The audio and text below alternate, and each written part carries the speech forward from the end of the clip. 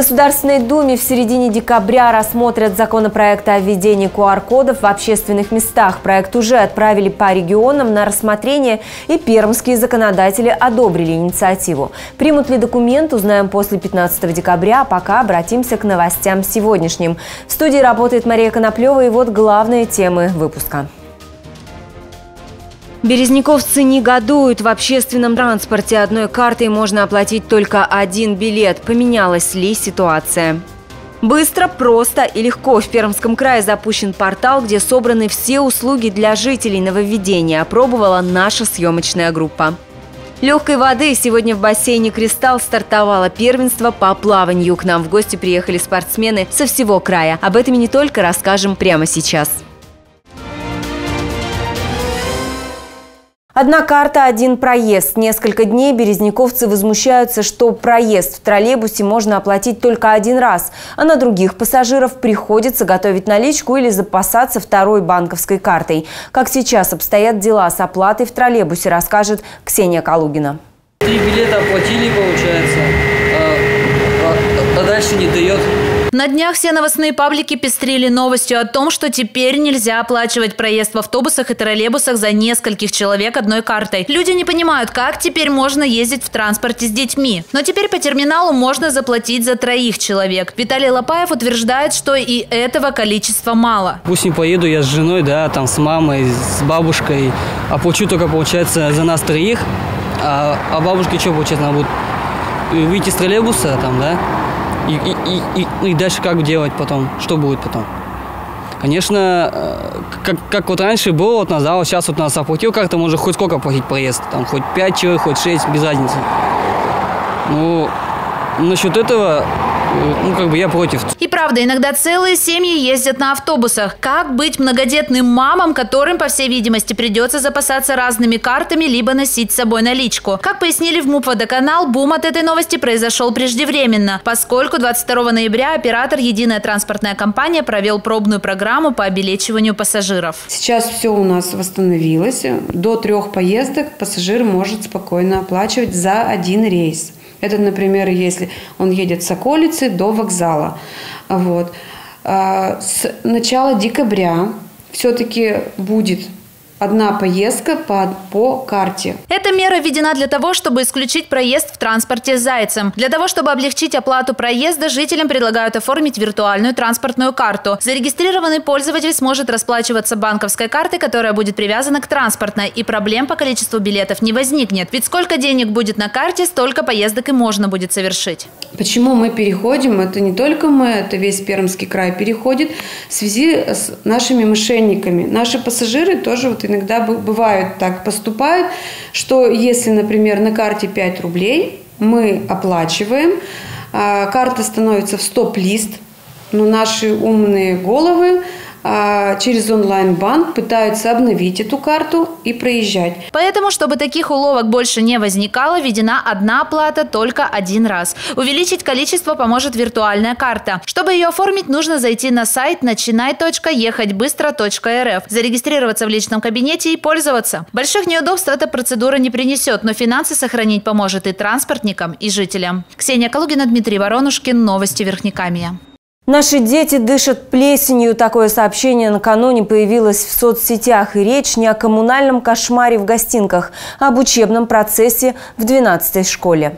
Это фото выложила в интернет одна из родительниц. Плесень завелась на потолке в кабинете химии, где на постоянной основе занимается седьмой А-класс. Женщина обеспокоена, что такие условия могут негативно повлиять на здоровье детей. Вот в таком классе проходят уроки детей 12 школы 7 А-класса. Этой плесенью они дышат в течение 6-7 часов. Руководство 12 школы внутрь нас не пустило. Мол, посторонним во время пандемии вход запрещен. Но нам разъяснили, что летом этого года подрядчик подрядчик ремонтировал кровлю и воронки, так называются внутренние водостоки. И протечка – это проявившийся дефект. Инженер к нам выходил 11 ноября.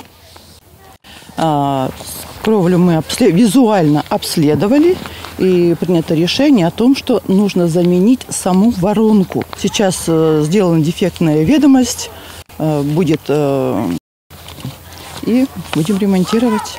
А класс 7А, который там находился, он переведен в другой кабинет.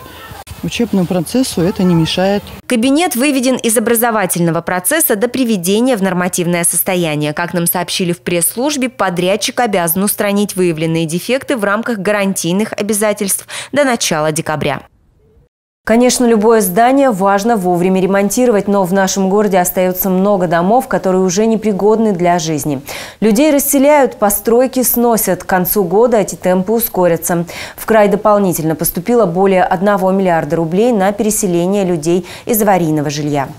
Напомним, в нашем городе расселяют аварийные дома по региональной и федеральной программам. Так вот, в рамках национального проекта «Жилье и городская среда» Пермский край получил дополнительно 1,2 миллиарда рублей для досрочной реализации. Как отметил губернатор Пермского края Дмитрий Махонин, это позволит уже сейчас ускорить темпы переселения и более тысячи семей получат жилье раньше положенного срока. Вошедшие в программу дома будут расселены до 2024 года. Это на один год раньше, чем планировалось изначально. Две недели без света по сообщению МРСК «Урала» с сегодняшнего дня и до 10 декабря в поселке Пыскар частично отключат свет. С 25 ноября по 10 декабря с 9 утра до 5 вечера будут отключать свет в поселке Пыскар. Правда, это коснется не всего поселка, а только определенные улицы. Подробный список вы сейчас видите на своем экране. По всем вопросам звоните по телефону диспетчерской службы МРСК Урала или в ЕДДС. Контакты сейчас на вашем экране. Быстро, просто и легко. Для жителей Прикамья запущен единый портал, где можно записаться к врачу, посмотреть налоговую задолженность или подать заявление в ЗАГС. Что это за сервис и как им пользоваться, уже знает Ксения Калугина.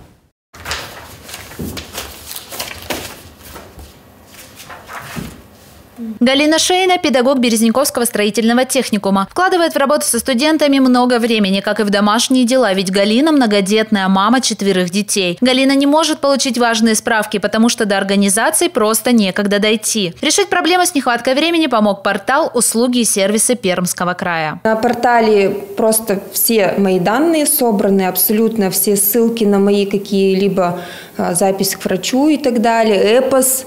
То есть я выхожу, конкретно на свою страничку и через компьютер могу также в дальнейшем сделать то, что мне надо, или посмотреть. Это просто удивительно и удобно. Пермский край меняется, люди видят положительные перемены. Теперь жителям Прикамья не придется бегать из кабинета в кабинет для того, чтобы получить важные документы. Портал услуги и сервисы Пермского края помогает решить вопросы с бумагами, не выходя из дома. Портал включает более 200 сервисов в электронной форме. Через него можно подать заявление в первый класс, получить справку из архива и даже записаться на программы дополнительного образования. Удобный и понятный интерфейс привлекает жителей 136 тысяч уникальных пользователей более 300 визитов ежедневно. Проект «Услуги и сервисы Пермского края» направлен на повышение доступности сервисов и услуг в электронном виде. С его помощью можно не только подать заявление на получение региональных и муниципальных услуг, но и проконтролировать ход их выполнения в личном кабинете. Это позволяет экономить время, делает процедуры более прозрачными и понятными. Реализуется он в рамках нацпроекта «Цифровая экономика», инициированного президентом Владимиром Путиным. Напомним, ранее губернатор Пермского края Дмитрий Махонин поставил задачу перевести максимальное количество государственных и муниципальных услуг в цифру. Возможность получить госуслуги в электронной форме – это в первую очередь комфорт и безопасность. Такая форма способствует снижению коррупционных рисков, улучшению делового климата и повышает эффективность работы государственного аппарата в целом. Пермский край – один из лидеров по реализации национальных проектов. Зайти на услуги и сервисы Пермского края можно в любое время, не выходя из дома. Регистрируйтесь на портале и решайте свои вопросы быстро, просто и без очередей, как это сделала Галина Шейна. Ксения Калугина, Дмитрий Воронушкин. Новости Верхнекамья. Известный сервис по размещению вакансий резюме «Работа.ру» провел опрос и выяснил, какие профессии россияне считают полезными для общества. На первом месте, конечно, врачи, на втором – учителя, а на третьем – спасатели. Также в рейтинг попали ученые, инженеры, повара и водители. Мы вышли на улицы города и спросили мнение горожан по этому поводу. Медики, конечно, куда сейчас в нашем времени без них. Ну а почему? Ну, потому что сами не видите, что происходит. Медиков на всех не хватает. Корона, она прогрессирует с каждым днем. Конечно, надо больше медиков. Ну, наверное, медики востребованные самые в настоящий момент. Наверное, электрослесари, сварщики. А почему так думаете? Ну, востребованы эти работы. Профессия учителя, А, так, профессия доктора, потому что это очень необходимо в наше время. Ну, так сейчас много заболеваемых. Не знаю, наверное, шахтер. А почему? Не знаю, зарабатывать много. Электрик, потому что мы учимся на электрика. Нам говорят, что это самая значимая профессия, самая востребованная, высокооплачиваемая. Высокооплачиваемая. Сейчас, по-моему, химиков не хватает, слесарей, сварщиков и прочих. Я вот повар, наверное, повара. Только потому, что вы повар. Ну, не знаю, водители, наверное, еще. Кто еще? Воспитатели. Зарплаты маленькие. На эту работу молодые не идут. Программист. Почему? Не знаю. Мы прервемся на короткую рекламу, а потом расскажем об увлечениях березняковской молодежи и о том, как проходит первенство города по плаванию. Оставайтесь с нами. За прошедшие 10 месяцев более тысячи россиян получили штрафы за то, что вовремя не сдали ПЦР-тест после прилета из другой страны. Штрафы внушительные – от 15 тысяч рублей. Подробнее расскажем в нашей рубрике «Новости коротко». Туристам, не сдавшим ПЦР-тест после возвращения за границы, грозят большие штрафы от 15 до 40 тысяч рублей. За 10 месяцев в Пермском крае 1044 человека привлечены к административной ответственности. По данным Краевого управления Роспотребнадзора, в суде рассмотрено 595 дел. Общая сумма штрафов составила 4 миллиона 600 тысяч рублей. В соответствии с постановлением главного государственного врача РФ, граждане в течение трех дней со дня прибытия на территорию России обязаны пройти однократное тестирование на новую коронавирусную инфекцию методом ПЦР. До получения результатов сохраняется обязательная изоляция по месту жительства. Прикамье впервые принимает финал Всероссийской премии «Маршрут года», которая проходит с 2014 года. В край со всей страны приехали авторы самых перспективных проектов по созданию и развитию новых направлений для путешественников. Всего на конкурс поступило 445 заявок из 60 регионов, а в финал вышли 226 проектов, 23 из которых из Пермского края. В тур-маршруты региона включены и березники. В число проектов от региона вошли легенда о каменном царстве, необычайные истории земли Пермской, инстаграм-тур по Пермской, Пермский, мифологическая карта Коми-Пермяцкого округа, малепка места силы, аномалий и мистики и другие. Туристские маршруты участников охватывают несколько городов – Березники, Кудым, Каркунгур и Пермь. Во время финального конкурса в Перми пройдут круглые столы, конференции и презентации проектов финалистов, а также наградят лучших. Власти Пермского края с 2022 года хотят ввести плату за посещение популярных природных мест. Платить придется всем туристам, кроме жителей населенных пунктов, расположенных в границах особо охраняемых природных территорий. Также от оплаты будут освобождены представители льготных категорий населения – инвалиды войны, дети и малоимущие. Плату за посещение планируется привязать к прожиточному минимуму. Размер будет составлять не менее полупроцента от МРОД – минимум 54 рубля. Полученные средства пойдут в бюджет Пермского края, а потратят их на охрану и развитие инфраструктуры для экологического туризма. Платные места также планируется оборудовать для туристов. Плату могут ввести также на объектах с наибольшей человеческой нагрузкой, а также на территории природного парка Пермский. Поскольку проект разрабатывается, точного срока введения мер пока нет. Новости коротко подготовила Ксения Калугина. Легкой воды в бассейне «Кристалл» стартовало первенство города по плаванию. К нам в гости приехали спортсмены из других городов Пермского края. Подробности в сюжете Евгении Кокшировой.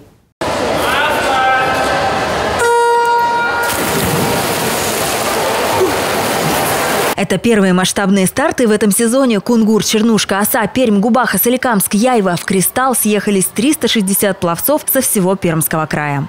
Получается, принято принимать такие соревнования, так как 50-метровые бассейны есть только в Перми и у нас. То есть во всем Пермском крае всего два таких больших, хороших бассейна. Тем более с такой замечательной электроникой, э, что позволяет нам проводить быстро, качественно, хорошо э, соревнования такого уровня. Заплыв сильнейших – самая зрелищная дисциплина. Многоборье ребята преодолевают по 200 метров четырьмя разными стилями. Сначала баттерфляй, потом на спине брас и, конечно, вольный кроль. Первым к финишу приходит 12-летний пермяк Кирилл Панцирев. В баттерфляе немного отставал, но затем догнал соперников. Это очень сложная дисциплина. Я очень долго готовился к этому дню. Самая сильная дистанция у меня, получается, это спина. На спине я всегда выигрывал и на кроле. Последняя дистанция, вольный стиль. Совсем чуть-чуть уступил главный соперник Кирилла, воспитанник тренера Елены Колпаковой, березняковец 13-летний Никита Шуман сразу был одним из фаворитов соревнований. В итоге в кармане серебро. Это отличный результат. Пермь сильная, Олимпия особенно. Дистанция, но еще более-менее. Но все равно стал сильно в конце. Плаваю хорошо брасом кролем, отстающий спина. Но спина, ну, брасом я всех догнала, я так в конце плыла, кролем уже это. Ну, второй приплыл. Значимость этого открытого первенства велика для каждого участника, ведь здесь идет отбор на соревнования уже более высокого уровня. А, Соревнования на самом деле очень большие, масштабные. Они являются первым этапом подготовки к большим российским соревнованиям, которые будут проходить в Санкт-Петербурге «Веселый дельфин». Подготовка к соревнованиям у нас идет ежедневно, 6 дней в неделю спортсмены тренируются, поэтому к этим соревнованиям, к следующим соревнованиям, сейчас у нас следующая поездка детей – это в Астрахань, они едут на Приволжский федеральный округ на соревнования. Но все имена победителей еще неизвестны, ведь открытое первенство будет идти и завтра. Впереди многоборье у девушек и дистанция кролем 800 метров. Пожелаем пловцам удачи. Евгения Кокшарова, Степан Некрасов. Новости Верхнекамья. Время подводить спортивные итоги. На протяжении года, несмотря на пандемию, в городе стоялись сразу несколько крупных спортивных событий. Это и Строгановская миля, забег подснежники, экстремальный забег на трамплин «Березники 300». В Пермском крае объявлено голосование за лучший спортивный проект региона. Министерство культуры и спорта Пермского края ежегодно проводит конкурс «Спортивная элита Прикамья». В этом году победителей будут определять в 14 номинациях. Тренер года, спортсмен года, спортсмен-ветеран, а также лучший спортивный момент. Как раз в этой номинации представлены березники. В номинации «От города» заявлено целых три мероприятия. Соревнования по сноу-кайтингу «Строгановская миля», легкоатлетический забег «Подснежник» и экстремальный забег на трамплин «Березники 300». Последний сейчас на втором втором месте в интернет-голосовании. И мы можем сделать этот забег победителем. Заходите в группу ВКонтакте «Березники официальные» и голосуйте. Кому-то спорт, а кому-то театр. У березняковской молодежи есть большой выбор, чем заняться после школы. Наша съемочная группа заглянула на репетицию сразу в два театра, в которых занимаются школьники и студенты. Про юные таланты расскажем в рубрике «Молодежь здесь».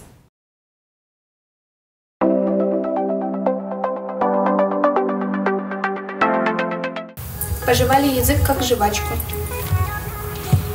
Пожевать язык, размять щеки, челюсть и далее по списку. Сегодня актеры студии «Ровесник» готовятся к предстоящим новогодним спектаклям. На репетиции молодежная группа, в ней занимаются ребята от 14 лет и старше. Нагрузка на эту группу самая высокая. Не находят здесь себя, и если мы действительно видим, что у ребенка есть такой потенциал, есть такой талант, мы стараемся его направить в это русло, чтобы он развивался и рос именно в этом направлении. То есть вот на данный момент, например, в Березняковском музучилище на каждом курсе есть наши выпускники. Прежде чем войти в роль, необходимо подготовить и голову, и тело, размять мышцы, поработать с дыханием, а после этого можно начинать. Это помогает не только на сцене, но также в обычной жизни. Многие ребятки после этого начинают более быть активными именно в школьной, техникумовской деятельности, кто где учится начинают больше участвовать в каких-то творческих мероприятиях.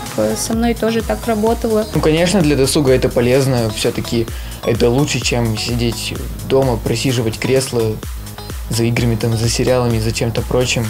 Но все же отдыхать надо. Ну, школа, досуг какой-то полезный для тебя. Ну и там пару часов в день все-таки для, на себя все-таки тратить надо. По статистике, ребята, посещающие такие студии, становятся более открытыми. Им легче найти общий язык со всеми людьми. У них распланирован весь день, соответственно, продуктивность держится на высоком уровне. Творческой молодежи в городе у нас хоть отбавляй. Например, ребята из первой студии БДТ сегодня перенесли свое состояние в пластичное выражение. И таких тренингов в студии большой выбор. Здесь актеры работают над речью и борются с зажимами. Каждое занятие подростки переживают новую роль. Театром я уже живу, горю без студии. Когда у нас были каникулы, уже не могла, хотелось прийти снова тренинги, общение, ребята. Подростковую группу студии также ждут активных ребят. Никакого кастинга проходить не нужно. Всем новичкам дается возможность поучаствовать в актерском тренаже. Это специальные тренинги. После этого вы становитесь частью коллектива. В студии даже занимался пятилетний ребенок. Поэтому, если у вас есть желание обучиться театральному мастерству, дерзайте. Я тебя люблю. Я тебя ненавижу. Я тебя люблю. Я тебя ненавижу. Сейчас в планах у студии отыграть спектакль над пропастью воржи. Артисты называют его самой сложной работой. Премьеру березняковцы смогут увидеть 6 и 13 декабря на сцене культурно-досугового центра. У студии «Ровесник» также большие планы. Коллективу в марте исполняется 55 лет. В честь этого будет проведен фестиваль, на котором соберутся творческие коллективы Прикамья. Елена Силакова, Екатерина Зибзеева, Дмитрий Воронушкин. Новости Верхнекамья. Ну и, конечно, пришло время напомнить вам о том, что мы приготовили прекрасный подарок для мам. Телекомпания «Верхниками ТВ» подготовила творческий флешмоб. Условия участия простые. С 24 по 28 ноября мы ждем ваши самые трогательные поздравления для любимых мам. Фантазию ничем ограничивать не будем. История из жизни, яркое воспоминание, видео, открытка, стихи. Давайте эти дни посвятим самому ценному человеку на Земле. Единственное условие – прислать нам фото или видео. Победитель будет один, и он получит ценный подарок – фотосессию от фотографа Марии Жарняк, а образ для мамы подберет стилист Александра Дичкова. Мы ждем поздравления в сообщения нашей группы ВКонтакте ВКонтакте Верхниками ТВ, либо в директ аккаунта Инстаграм v.tv59. Давайте поздравим любимых мамочек всем Верхниками. Делайте новости вместе с нами, снимайте эксклюзивное видео городских происшествий или интересных событий, присылайте нам и становитесь мобильным репортером программы «Новости Верхниками». Мы ждем ваших сообщений на электронную почту tnt.news.sobakamail.ru или по телефону 43 17 11. Автор лучшего ролика недели получит в подарок сертификат на ужин в ресторане номиналом 1000 рублей. Это были главные новости Верхниками. В студии для вас работала Мария Коноплева. Всего вам доброго! Здорово и будьте здоровы! Внимание! Открыт новый салон «Двери, окна, кудесник» Парижской коммуны 54. В честь открытия скидки на стальные двери до 30%. Акция действует до конца месяца. Успевайте! Количество моделей ограничено. 26 ноября в пятницу синоптики прогнозируют нам пасмурную погоду, снегопад и незначительное потепление ближе к выходным. В Александровске минус 7, в Кизеле столбик термометра будет на отметке минус 8 градусов, в Соликамске минус 5 градусов. В Березняках в пятницу температура воздуха ночью минус 10, в дневные часы минус 3 градуса. Атмосферное давление 742 миллиметра ртутного столба, ветер юго-западный 6-8 метров в секунду с порывами до 14 метров. 26 ноября солнечная активность умеренная, геомагнитное поле спокойное. Компания «Кудесник» представляет стальные двери от лучших российских производителей, популярные модели в наличии. «Кудесник» заявляет, если найдете в Березниках дешевле, снизим цену. И двери, которых нет у других, найдете в «Кудесник».